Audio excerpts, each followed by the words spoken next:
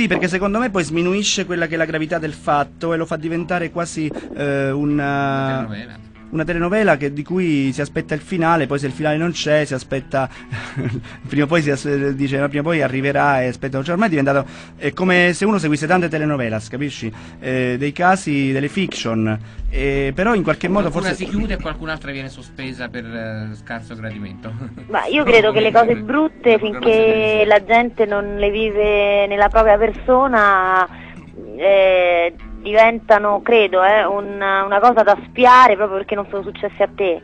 E quindi c'è una forma di morbosità, un piacere perverso nel Certo. vedere che queste cose capitano agli altri, forse per esorcizzare una paura interiore che queste cose possano capitare a se stessi. Ma insomma. sembra quasi che eh, quando uno vede queste notizie sembra quasi non possa mai capitare a se stesso. Per invece io poi, tra l'altro non l'ho detto prima, volevo, poi eh, abbiamo parlato di altro.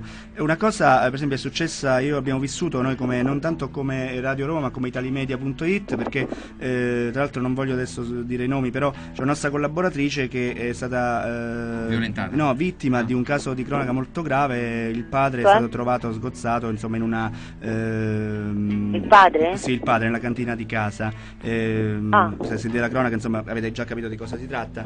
E ancora non è stato trovato il, il colpevole, sono i carabinieri di Frascati che indagano su questa cosa di cui non si, sa- non si riesce a capire neanche il movente. Eh, però mh, è stata una, c'è una situazione molto particolare, però noi l'abbiamo vissuta in prima persona perché siamo stati vicini, molto vicini tra l'altro a questa nostra collaboratrice e anche lei diceva io sentivo sempre queste notizie eh, fuori, eh, cioè dall'esterno, ecco, mh, e non pensavo mai potesse capitare a me. Adesso quando le ascolto è tutta un'altra cosa, insomma, ecco, eh, rico- Certo, rivivo, uno rivivo diventa molto più momenti. sensibile. Rivivo sempre quei momenti. le E- vive più, per- più direttamente no? quando eh, subisci una cosa del genere, no? quando la senti non hai più quella morbosità che può avere una persona che non ha toccato da vicino una cosa del genere, ma penso che ci si senta male, ci si immedesimi in qualche modo, no? Credo. Certamente. No, io Ma- guarda, l'ho vissuta in- chiaramente, in- chiaramente di riflesso, chiaramente, perché poi siamo stati vicini, insomma, per qualche giorno abbiamo anche messo da parte un po' il maggior- la maggior parte del lavoro per stare vicino a lei, sembrava giusto, doveroso. Certo. Eh, però, ecco, di riflesso, già mh, viverlo forse in prima persona comincia... Vabbè, io poi... È tutto un altro discorso. Sicuramente, sicuramente eh, è così. Eh, comunque, per quanto riguarda invece, eh, per esempio, un caso eh, che eh, mh, forse è diventato un caso mediatico molto più degli altri, ecco, il caso di Anna Maria Franzoni, delitto di Cogne. Eh, Pierfrancesco è molto Ferrato, Maria. molto ferrato, ma a parte ferrato, ma è molto critico nei confronti di, quel- di tutto ciò che è successo eh, nel caso di Anna Maria Franzoni, perché gli altri delitti sì, però nel caso proprio addirittura che si fa diventare un personaggio televisivo, un protagonista, addirittura penso che gli sia stata proposta la consulenza in casi di omicidio nella trasmissione porta a porta, E mi sembra veramente qualcosa di esagerato. è tu come la vivi? troppo. Tu come, cosa ne pensi in merito a questo? io penso che, che quella sia stata veramente una mm, esagerazione nel senso che è vero che è una cosa aberrante il matricidio, nel senso no scusa il, matri- il come si chiama? Sì, matricidio se è stata lei, no, però... no, fi- figlicidio. Come si Ah chiama? no, sì, sì, chiedo scusa, sì, il, il matricidio quando figlio uccide la ammazza madre, la certo, madre. figlicidio, sì. Una mamma che teoricamente ammazza un figlio si chiama figlicidio. Figlicidio, sì. Figlicidio? Sì. Scusate No, no, sì, la sì, certo. confusione. Ma io, io cre- credo che, che è, è giusto provare aberrazione per una cosa del genere, ma questa esagerazione di, di- di farlo diventare un caso mediatico, addirittura eh, di farla diventare quasi un personaggio pubblico, io cre- credo che, che- che Si sia travalicato proprio- il limite del buon gusto. No, è proprio la, la manifestazione della morbosità della gente, perché mh, insomma non, non Beh, però c'è da c'è... dire in questo caso assecondato anche dai, dai diretti interessati eh, che hanno fatto di tutto per esporsi più Ma io non credo questo. No? Sai, uno si può No. anche rifiutare di andare in televisione a rilasciare interviste se vuole. Eh. Io credo che... Uno magari se si vuole difendere va dai giudici, in qualche modo cerca di Sai, in quel collaborare momento... In quei momenti uno fa di tutto per... eh, Eh, lo so, però poi Trovare sono armi a doppio solidarietà, taglio no? queste, perché poi la gente in qualche modo giudica da casa. eh. Ma io sono colpevolista come credo la maggior parte della gente. Però... mm, eh, credo che lei quando faccia quelle manifestazioni in pubblico sia in buona fede, è quello il problema. Quindi Ah. questo ha creato forse una miccia... Tanti non la pensano così, francamente, tanti pensano che sia un modo per impietosire l'opinione pubblica. Ma Perché- anche però eh, Perché sai, sicuramente uno cerca il consenso se è veramente esterno. colpevole lei, ripeto, non sta a noi dirlo, però se veramente lei è colpevole non- contraddice il fatto che lei sia in buona fede. Una mamma che uccide non è mai in buona fede. No, lei sia in buona fede, io volevo dire che lei non se lo ricorda assolutamente, Beh, no? sono casi veramente da manuale di psicopatologia che sono molto Ma difficili. lei è risultata... È stata condannata eh, due volte, adesso schizofrenica, non, eh. ancora, non c'è ancora una sentenza passata in giudicato, quindi teoricamente ancora non possiamo additarla come colpevole.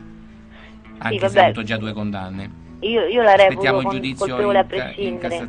Eh? No, però c'è purtroppo la presunzione, cioè purtroppo è giusto che sia così, la presunzione di innocenza fino all'ultimo Certo, grado di giudizio. certo, certo, certo. Perciò non si può assolutamente eh, No, attribuire una colpevolezza no, no, no, a una no. persona insomma, che non è stata ancora Anche se condannata. eh, ovviamente la gente eh, ha il diritto di farsi un'opinione, no? Perché eh, la gente eh, giustamente si fa un'idea da casa. A proposito di condanna, questo si può dire comunque, perché oggi è stato condannato effettivamente eh, il senatore Giulio Andreotti per diffamazione nei confronti di un magistrato, in questo caso è una condanna.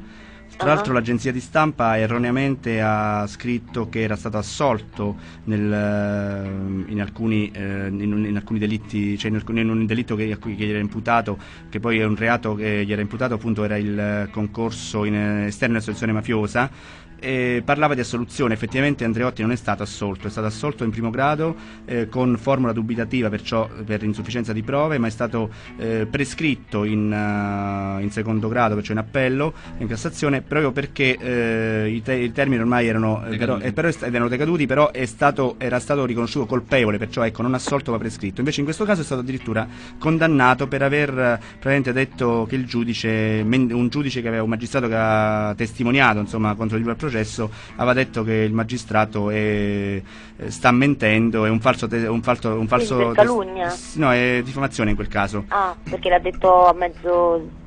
Mm, sì, a mezzo stampa l'aveva detto. stampa, ecco. E il- Ecco, a proposito di questo, eh, ricordiamo che Elisabetta è, è un avvocato, è laureato. no, E- nel senso ho fatto solo l'esame, non sono Sì, vabbè, comunque pratico. insomma è laureato in legge, quindi cioè, parla con cognizione di causa, eh? eh, non dimentichiamo.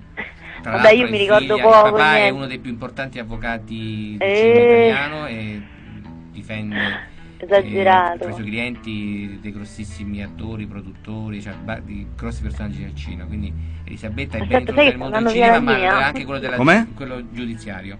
Dicevi No. Elisabetta? No, no, che stava andando via la linea e No, no, no, no, invece no, no. ci sentiamo ci sei, ci sei. Bene, a questo punto Elisabetta io ti ringrazio tantissimo per eh, questo intervento Grazie a te. E niente, ci sentiamo prestissimo. Pre- Allora vorrei ricordare presto su eh, Roma, ragazzi insomma. sui 18 anni bellissimi e che sappiano recitare possono contattare Elisabetta Rocchetti che presto dirigerà un film eh, contattando il sito Bravissimo.